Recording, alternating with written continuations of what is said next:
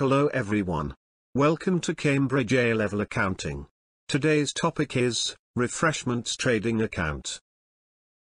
The following information is available for, Magic Music Club, for the year ended the 31st of March 2020.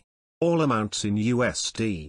Refreshments inventory at the 1st of April 2019, 12,000. Refreshments inventory at the 31st of March 2020, 17,600. Refreshments staff wages, 22,000. Refreshments takings, 43,800, and, refreshments purchases, 22,000. Additional information, an invoice for refreshments purchases of $500, has not been recorded.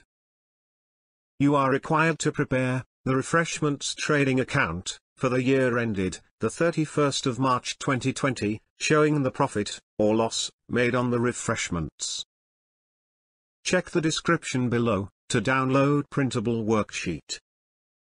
Please, subscribe, like, and share, this video. Please, post your answers, in the comments box below. Thank you, and happy learning.